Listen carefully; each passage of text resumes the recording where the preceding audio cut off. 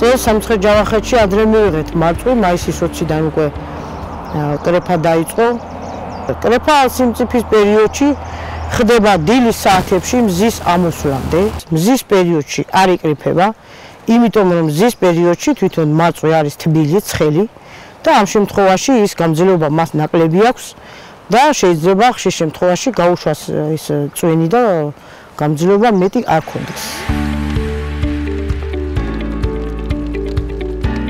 ტრანსპორტირებასთან გამძლეობის მიხედვით ძალიან კარგი არის მაგალითად კახეთის პირველი, კახეთის მეორე, მეორნაირად შამპანსკის ვეძახით და ასევე ჰონეი. რომელიც ტრანსპორტირებისათვის ძალიან კარგი მაწვი არის.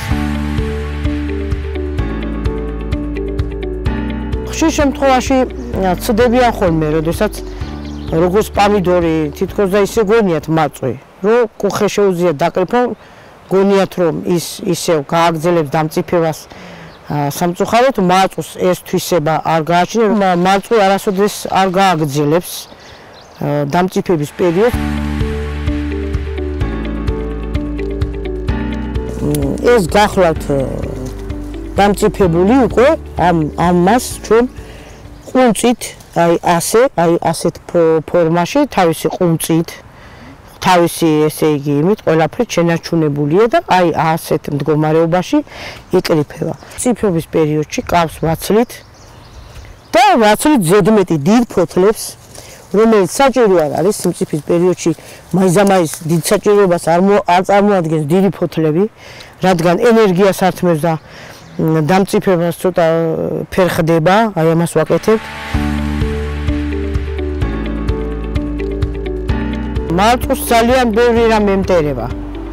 მაგალითად კაჭკაჭი, მიმინო, ესეთი ფრინველები ემტერებიან და ხშირ შემთხვევაში მიაქვს ხოლმე ჩვენი ناقოფი, ნაშრომი ნაწვალებიდან.